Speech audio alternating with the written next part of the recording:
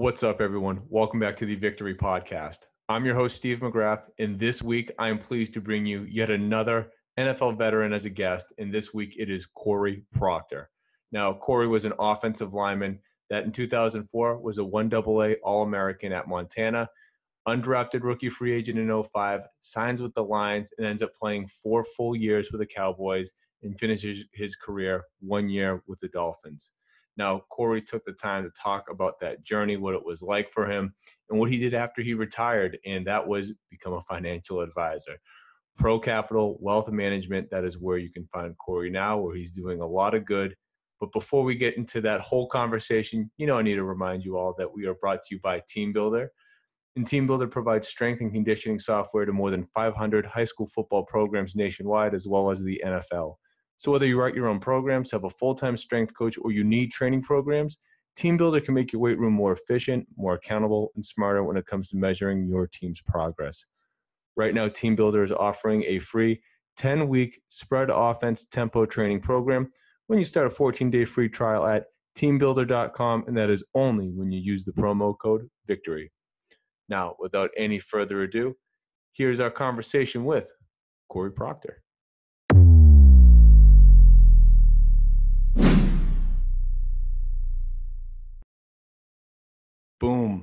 All right, on the line I have Mr. Cory Procter. Cory, how you doing today, man?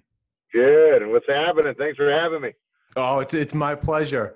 Uh, you, you, know, uh, in victory style, we love to get into guys' story, how they they managed to navigate that path from being a high school athlete all the way through the NFL and, of course, life after. But breaking news! I don't know if you heard, Andrew Luck retired.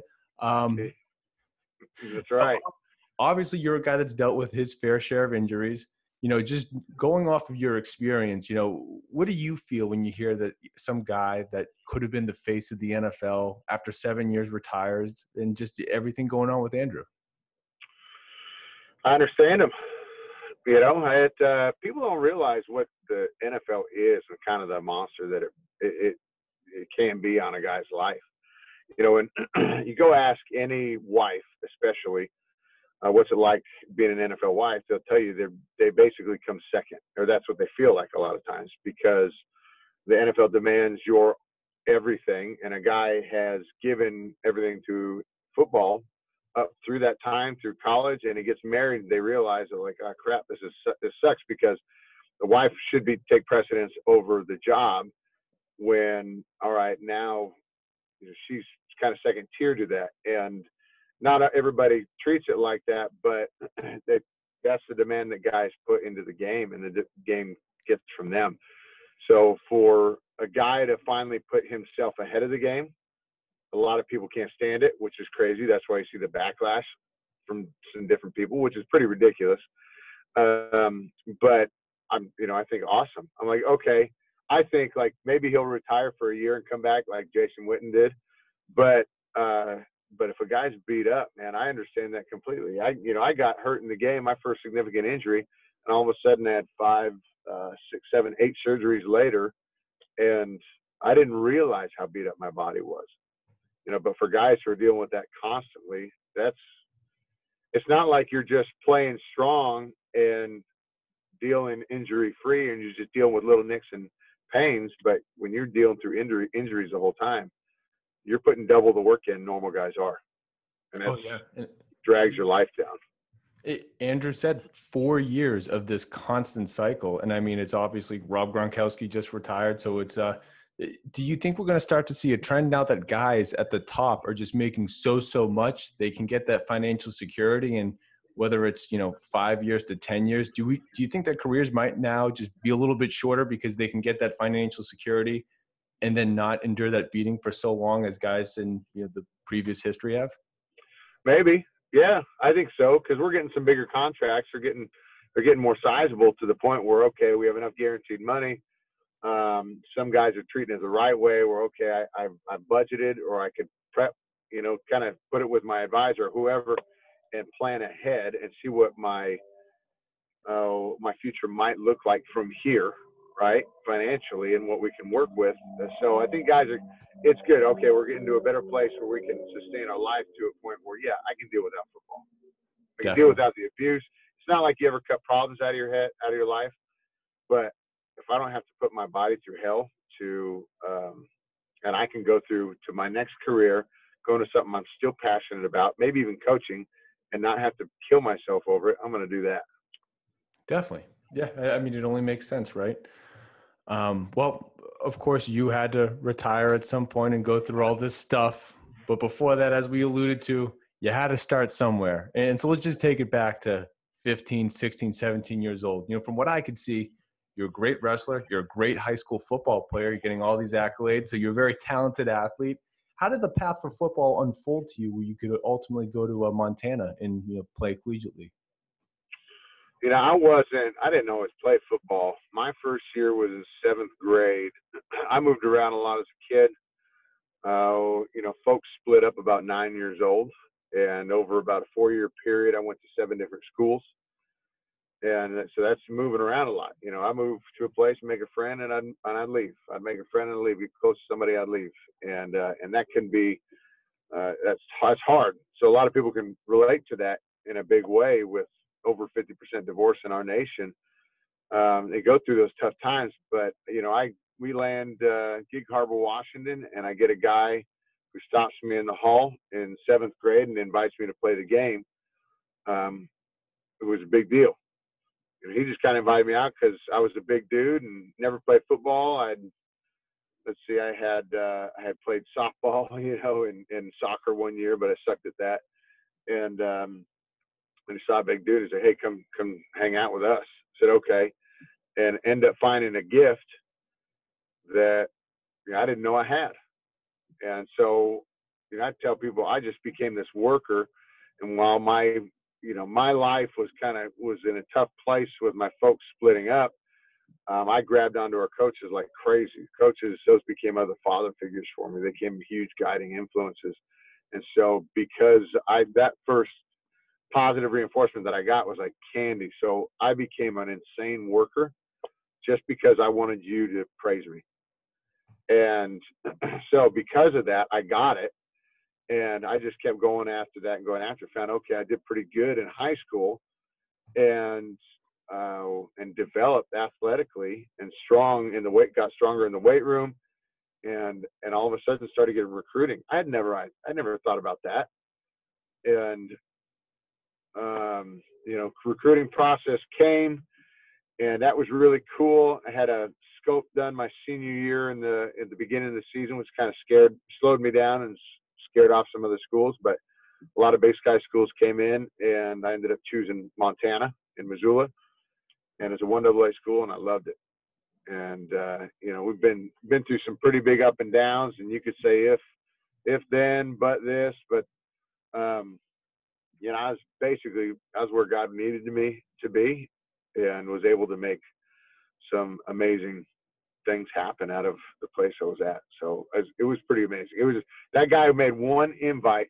And you think about something like this. This is a huge lesson for somebody who's out there. You think about it in the job where you might not have necessarily a good relationship with somebody, or you might you just might not like somebody very much, right? Or you might not know them at all. But you make one single invite that could potentially change their life. This guy invited me to play football which got me a college scholarship. Found out I had a gift, got a scholarship, played in the NFL, played with the Cowboys, the Dolphins. That's where I met my wife. That's where I got my daughter. You know, I'm sitting here having this conversation right now. That's a powerful invite. So, what was his name? Uh, Jeremy Corum. Shout out to Coach Corum. I mean, right there, right? I mean, it, it, deserves it, right? I mean, he that's kind of this moment. If it weren't for him, who knows where you're sitting today? Right. Very that's, cool. that's where I'll, I'll use that in talks, but for anybody listening, I mean, there's typically somebody who like it's not in your normal vicinity to go talk to, right? It might be a stranger or whatever, but something intrigues you or something stands out, and it could be the pair of shoes they're wearing. It could be as simple as that. But if you don't take that and kind of bust through the barrier that um, you know we all essentially have before knowing each other you'll never make those explosive moves in life and that's and if, if you don't call that explosive that's you're blind because that guy made an invite that okay might have taken years to develop gift after gift and time after time but it was a pretty amazing piece And Definitely. I'll plant those seeds all day. oh, for sure, right. And you only reap what you sow. So, you know, you're able to have this, of course, this explosive change. Uh, I just wanted to ask, though. You know, I saw it. You know, at, growing up in New England, Stephen Neal was an offensive lineman who had a wrestling background and was able to have a good career with the Patriots. What did you find from being a you know talented wrestler? How much did you know just understanding leverage in different parts of that skill set? How did that translate for you to play offensive line? Wrestling was big. I loved wrestling. You know, the only reason I got into it was because my first line coach or first head coach recommended it for players looking for another sport besides football. Said, "Hey guys, uh, I can't remember exactly how he, he phrased it, but he said, "Hey guys, I would recommend everybody going out for wrestling." He wasn't even the wrestling coach. He goes, "I'd recommend everybody going out for wrestling, especially you linemen, because this will help you become more flexible, become more aware in your body. You'll, you'll learn about leverage points, and it will make you an all-around better athlete." And uh, and it's not necessarily just wrestling. This can be anything. This uh, Nick Saban did a study also of a scholarship asked athletes at Alabama, and multiple sport athletes coming out of high school were four times more likely to get a scholarship than single sport athletes. So it shows you during that developmental phase, you need lots of different aspects of athletic movement to work the different uh, spheres of the body because you nail down to one, you're limiting your growth. And so wrestling ended up being a huge part of that for me, and not not just physically, but it's a that's a demanding sport mentally. It's a more of a one-on-one, so I had to over overcome you know these kind of internal fears of dealing with a guy one-on-one, getting into a fight one-on-one. Football is full of those. You don't even realize it.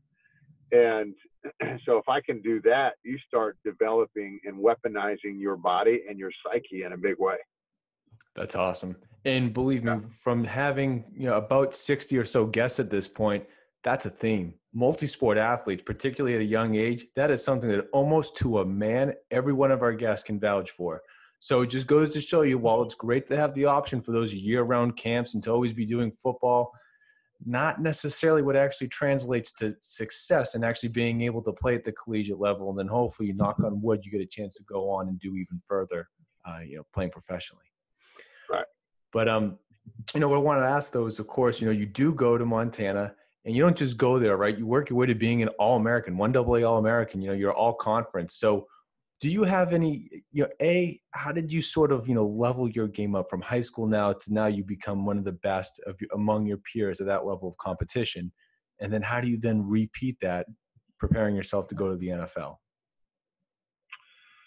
Okay, every transition is going to come with some sort of uh, flex, un- uneasiness. You're not going to be fully prepared. You don't know how to. You, are not fully prepared to swim unless you get in the pool, right? And so, this in the same way, you know, I worked hard. I got myself in shape physically, but until you got into camp with the coaches, you have to go through this this growth phase, and it, essentially, so you can adapt. Um, I had fantastic coaches at Montana. I love them to death. I still think my O line coach, Chad Germer, was one of the best coaches I've ever had, technically, and loved his guys. Demanded a whole lot. When I got into the NFL, I was a big, big I had a good attitude, good aggression, very big try hard guy. And when I got to the NFL, you know, I was overthinking, over stressing, overdoing a lot. So I needed uh, most of my rookie year was on practice squad in Detroit. So I needed that practice squad time so I could settle my mind. Physically, I was ready, right? I still needed to mature more, but physically, I was ready. Mentally, I had to adjust to playing with men in the game.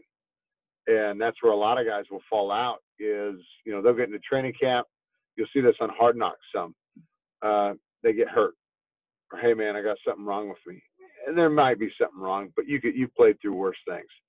And so guys will go hide in the training room. They'll go hide somewhere else and they'll hide behind an injury. And it's a good escape for something. And so this is why it's such a great um, indicator of, of what kind of growth you're ready for. Because if you can plunge into it and stick it out, because it's not easy, it's not fun. this is in a lot of different aspects of life, not just football. But if you can stick those moments out, uh, you'll be fine. You'll be okay, and because those will translate to marriage when you're arguing with your spouse and you don't want to deal with each other right now. That'll translate to your job when uh, this guy's trying to steal my sale or this guy's trying to steal my client or whatever the case may be and uh, or at least I think that right when I know he's trying to put food on the table for himself too and his family, so I can stop and sit to remember that, and I can go, hold up, I'm going to approach this guy and I'm going to deal with him with a good heart and not necessarily a vindictive one. And so you can understand those are pre- preparation tables that you're eating at before you get to the actual feast. Absolutely, I love that. Um, you know, I, I did want to ask though so you do spend most of your, your rookie year with the Lions before having you know your the bulk of your career in Dallas. What was that like for you? Did you have expectations of getting drafted, and then you know that phone call that comes in? Uh, I'm sure you were elated to get it, but were there any other offers on the table? How did the you know you getting to Detroit come to fruition? Well, so you know you have when your agent is helping you come out of college, getting ready for the draft, depending on who you are you know, they're usually prepping you some sort. You're doing combine training. I didn't go to the combine. I just did my pro day at the at Montana. But um, you know, their projections were, hey, we think you might go as high as the fifth round, uh, all the way to undrafted, right? And okay, I had the most I knew. I talked to Atlanta, the Falcons beforehand, and they said they had me as high as a fifth round draft pick. said, cool, awesome. well, it never happened everybody wants to be drafted. You know, it's like I pick you to play the dodgeball game, right? And nobody wants to be picked last. And uh, nobody picked me, whatever. Then it came back down to the Cowboys, Atlanta, or Detroit. And Detroit didn't draft any linemen, so that's where we're looking for the best opportunity to make the team. So on my agent's recommendation, say, hey, I think Detroit might be our best bet. I said, okay, let's go. And that's how that came. Got it. Yeah. I mean, given that scenario, it seems like it was sound advice. Uh, however, I'm sure the way you see it is that the Lord had other plans because you, are there for a minute, you end up with the Cowboys, a team that you just mentioned, and then for the next, you know, um, four years, you know, after that year, you're there. So, you know, a, what's it like getting that call? Hey, we're taking you off the practice squad. You're going to be, you know, moving, you know, almost cross country, and you're going to have to get used to this new set of teammates. I mean, what's that whirlwind like for you? It's uh, you know, you don't you're not given much time to think, to be honest. Uh, and and usually that's that uh, that's a lot. A big way in which God moves is like when He wants you to make something fast, it gets really uncomfortable, really uncomfortable quickly, and usually that's a sign for you to act even quicker. And and so what happened there was, shoot, we had just fired Steve Mariucci as our as our head coach in Detroit. I loved him uh, tough situation. We are at Tuesday night. We are at Chris Chelios's uh, bar restaurant, Cheli's in uh, Detroit. He was the captain of the Red Red Wings at the time, and we're sitting in his bar just eating dinner. I think it was like nine o'clock at night, and I get a call from my agent said, "Hey, Dallas wants to pick you up, put you on the roster." And uh, so then I'm like, "Oh crap, okay." He goes, "Well, but now we're going to give Detroit the opportunity to match that offer, and then we'll kind of decide what our best moves are. Because I've been in Detroit, I knew their system now, but the problem is they just fired their coach. Bring in a new coach, you don't know what kind of guys he's going to want. Um, on the flip side, Dallas had, is at the time oh was looking like they were going to make the playoffs. weren't sure because Bill Parcells was the head coach. You weren't sure if he was going to stick around, but he's a good coach doing really well, good program there. So, and long, uh, how that ended was Detroit wouldn't put me on the active roster; they would match my pay. And in the end, we chose Dallas because they would put me on the roster. I would get uh, credits towards my um, accredited seasons or towards my um, free agency. And so we we went that route, and ultimately it was the best one.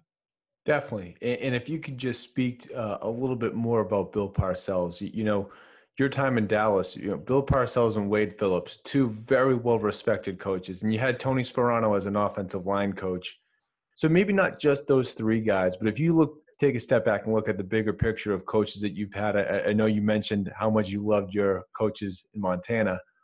What to you made the best coaches? You know, I tend to gravitate toward the higher level because you know I know who Bill Parcells is and Wade Phillips, and I'm obviously not as well versed about your coaches, but from what you saw and what you played under, what made the best coaches special? What was it about them that they were able to have success on the field? You could tell the coaches that cared about you and who didn't. And, I, will tell you, anybody out there knows what I'm talking about when I say, uh, uh, "What boss did you like working for? Who do you who didn't you like working for?" And typically, the guy you didn't like working for had no idea what your home life was like, had no idea who your spouse or your kids or anything else was like outside of work. So they didn't care about anything outside of work. So your your entire life was predicated on your performance at work, and um, it's very much the same in football. So you would have these coaches that would yell and scream at you, and I've been yelled and screamed at plenty, yell and scream at you, um, but they had no idea who you were. So it's it's hard to keep, you know, a really good uh, head or heart because when somebody doesn't care about you, they're the ones ultimately trying to lead you, and it's hard to follow a leader that doesn't care. And uh, when they only care about their performance or the performance of the team or whatever, it's going to fall short every single time. And if you got a leader, you have a coach, you have somebody that cares about you and asks you about your family, doesn't mean they can't they don't coach you less. Right? Doesn't mean they're less of a coach. It means you're more bought in and so are they. And so because they're more bought into you, you buy in more to them. This is where a lot of leaders in any job in any realm go wrong is I look at your film and okay, we got to judge by our film, but when I get you in and if it's my job to coach you to lead you to a better playing route, then I have to know everything that moves you. And that's where I'm saying there's a lot of guys to deal with, but I would I would tell these I tell these coaches, I go, when you guys get when they, you get in the room, probe them. Start talking to them like, what's hey, how was your dad growing up? You know, how was your mom growing up? What was that like? And press them for answers because if you know this dude uh, used to have an abusive dad, you know, used to beat on him as a kid, he's probably not going to respond to a, a, coach that screams and yells at him all day long. Eh, not as much, anyways. Well, you know, another kid might take that just fine. And and that's where I say is the coaches that I I love Parcells because he would he would uh, feed you a compliment that was always backhanded. he'd feed you a compliment. Um, he'd still yell at you, but he'd love you at the same time. You know, he caught he one time we were in training camp, and uh, and I and I bring the language down. Right, I'm not going to cuss because it was more cuss words, but uh, he goes, he was telling me I was doing a good job. He's like, "You're all right, Grizz." Call me Grizz, Montana Grizzlies. He goes, "You're all right, Grizz." He goes, "You're moving back and forth between both guards pretty good. You do it pretty easy. Not a lot, not a lot of guys can do that, but you're pretty smart. You're no genius, but you're pretty smart. And so he would feed you like that's feel good moment, right? He feeds you, make you laugh, kind of break the the tension, and but he cared about you, and he lets you know what he was thinking always. But he did care about you, and I'd rather have a guy who cares, tells me what he's thinking all the time, than have a guy that's ripping me up, doesn't care at all, or not talking, doesn't care at all. Oh, for sure having obviously not an NFL player, former NFL player, but I, I mean to relate it just to everyday life. I, I, I, mean that's the manager that you would much rather be with, someone that you know where you stand, that line of communication is open. I mean, it's just it's a world of a difference.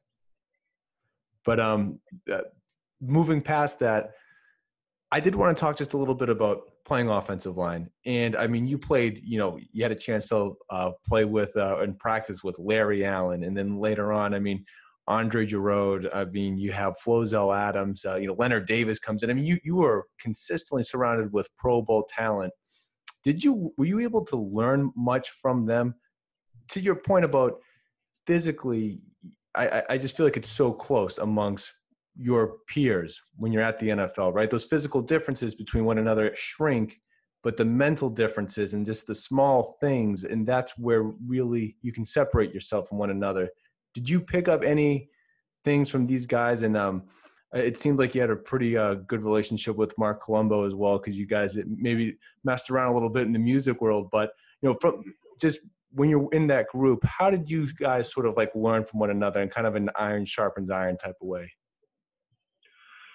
Well, well, I mean, one big thing I learned there is guys guys are different. Guys guys learn differently. Guys act differently. They prepare differently. Not everybody looks the same. Not everybody's one cookie cutter method. And and that's that's a hard probably the hardest part as a leader is to understand that everybody's wired differently.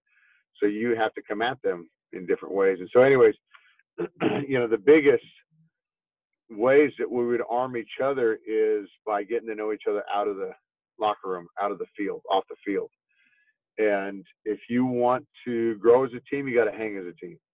And so that's where Colombo and I became really close because we were working out in the in the in the weight room together. Realized two hard ass dudes who like to work and like to lift weights. And so we were hung out together. We started we gained respect first and then we would talk about metal music or rock music, stuff that we liked. And then I found out he was in a band in Chicago when he was there. I'm like, holy crap, I play the drums. And he goes, I got a kit in my house. Let's go jam. And so we find out these things, and then we go hang outside of football, and we're playing around, screwing around, and then uh, you know go to movies on Tuesday mornings when there's nobody at the theater, and just smoking popcorn and and nachos like crazy and and loving and giggling like a bunch of little girls. And so we would do that stuff all the time go hang out. And but through those you would hear the stories of guys lives. All right? Sure. so i hear story i'd hear leonard was like man you got to meet my mom. So i go hang out with him in wortham texas and meet his mom you know who influenced him in a big way and got got you know sat there and eat biscuits and and uh, bacon with boar bacon with Brer Rabbit syrup all over it, and and that that stuff is the coolest thing because that's the iron sharpens iron. Because all of a sudden now I'm living in a world that disrupts what I currently have. So I tell people, like I was, I went to Gig Harbor High School, it's primarily white high school. We had probably like one one black guy in the whole school. Right? I went to Montana, and might have five black guys. I went to the NFL in Detroit where I was now the minority. And and now I'm in this discomfort place, and this is the place God wanted me to be. Why? Because He needs to expand my perspective and my territory. He goes, I can't have you being a leader out in the world unless you know the world. And so this is the same way how we iron sharpens iron is your testimony is what sharpens other people's testimony. My, hearing your testimony, your story broadens my perspective of what God has to offer. I'm like new revelation all the time. So cool. Um, and, and, you know we're, we're going a, a, little longer than I wanted. So while I feel like we could go down this for hours, um, I, I, do just want to ask, um, heading into retirement, you do have the one last year uh, of your career in Miami, and of course you have a knee injury there.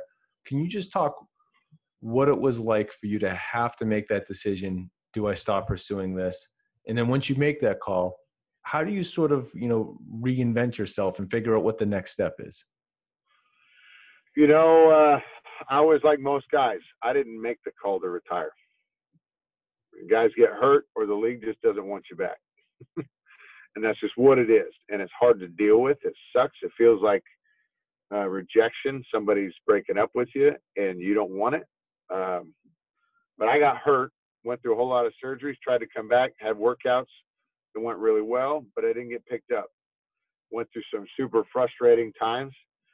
Um, but at some point, this is where I'd push guys to do this earlier than I did. But at some point, I had to make a choice to start moving for myself and not the potential of somebody else moving on my behalf. And and this is a huge thing because when you start moving on your behalf, other people will move on yours. And so what was hard is I turned down opportunity. I turned down a um, oh uh, in 2011 I turned down a 10 year reunion of our 2001 national title game for Montana because I was like I could get a call for a workout. Well, that's BS, man. Why would I miss an awesome moment? And even if I did get a call, that's what I want. So I, it would be a win either way. And so, so many guys, they're putting off so much in their life on the chance that they might get an NFL offer or, or might get a contract or might get this or might get a whole different. I'm like, stop doing that. Start making choices for yourself right now because people will see that and they will act on those actions. And you will create activity around you by making movement happen. And so, I, but that was a tough transition for me because I'm dealing with this. Who am I now? And I didn't, I didn't get into a crazy amount of interest besides music while I was playing. So I wasn't sure what I wanted to do. And so that was a bigger shift for me, like a lot of guys, because now I'm trying to figure out who the heck I am and I got to get a regular job. You know, turns, we had some crazy stuff happen, but, um, you know, somebody invites us to church one day that kind of turns the fire on in me. And I start developing, developing a flame for something I never had when I was playing ball. And because I had a relationship with my maker, the guy, the guy who made me, the guy who died for me. I started understanding the depth of that relationship, and I started understanding the depth of what he put into my life before up to that point. And what was cool is now I started consuming at a huge rate, which was the activity that started happening. We started having these kinds of conversations. So I started getting speaking gigs. It led into me opening up my own financial practice. And like all these different avenues that I wouldn't have chosen or I wouldn't have been on fire for hadn't I got a relationship with my God. That's awesome. Um, it, and as we move toward closing, though, um, if you want to speak a little bit more about Pro Capital, I, I mean, obviously, this is you, you, were able to construct a path for yourself. I mean, in while it seemed like for you, there didn't seem like there was going to be much chance that things were going to go dark for you, weren't going to work out. You know, everything did and this is the path that you created. So, you know, I'd love for you to be able to just have a moment to, to talk about why financial services and, and what it is that you're doing now. Yeah, yeah. So I I ended up oh opening Pro Capital Wealth Management, which is uh, my business. On top, I broker dealer through a company out of Minnesota, Woodbury, which only deals with independent agents. But I I went through my advisor. I I did. Uh, I put a lot of my funds with my advisor uh, when I was playing, and she did really well for me, and earned every dollar of what she was making. And uh, and so I saw that, took an interest, and uh, just because I wanted to know what the heck my money was doing, and and a lot of that was faith driven too. Um, a lot of people don't know. There's a verse out of mm, if I'm, I'm saying Luke or Matthew, one of the Gospels says, Well done, my good and faithful servant. What a lot of people don't know, they usually hear that at a funeral or from the pulpit, somebody preaching, This is what I want to hear one day. Well done, my good and faithful servant. Well, they don't they don't know where that pat or where that passage stems from. That is said one time in the Bible, and it's said in the parable of the talents when it's dealing directly about money. And what it is is twofold. It's one, God wants to understand that your heart is not driven by money, it's driven by Him. Money is a byproduct of Him. Um, two, how you steward what you're given in your life from God will determine His blessings after that. So, uh, in that story, you have three guys. One gives one talent two one gives two talent twos, one gives five talents. And talents back in uh, in in biblical day 2000 years ago a talent was a lifetime worth of wages that's what a talent was not necessarily this guy could do a lot right talent was a lifetime worth of wages so you could essentially get think about up today how much money you accumulate up till 55 or 59 of your retirement age can be several million dollars right is um, okay you've been just handed a million or more lifetime worth of wages and you've handed you have to take care of this the first guy went and buried his money in the dirt. He wanted to protect it. Second guy went and doubled it. The other guy went and doubled it too. So they went and traded it in the markets and they went and did their thing and they turned that money into more money. So that God, Jesus comes back and he finds out what they did and he chastises the guy who buried the money. And he says, he calls him wicked. He goes, You're wicked servant. Because you're basically deal, dealing with a spirit of fear that I'm going to condemn you for potentially losing money. These guys went out, traded in the market, and tried to increase for him and so he blesses them for it. So what's cool about it is a big faith aspect. Is like we are supposed to understand this realm that uh, a lot of people have a have fear stepping into. And when you have fear stepping into, what do you deal with past that? How many marriages end in divorce because of money? Uh, uh, out of all the divorces, I'd imagine that that's a probably at least fifty percent of them. It's the number one cause of divorce: money. Makes and sense why, to me. Why is it? It's it's huge, and why and why is the case? Well, typically, and I know you're in this field, so you can see.